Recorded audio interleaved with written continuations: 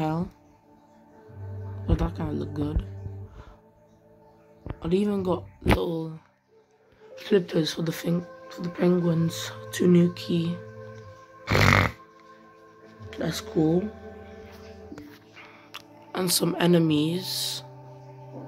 Wait, is that a Goomba with a diamond on its head? Oh, it was gone.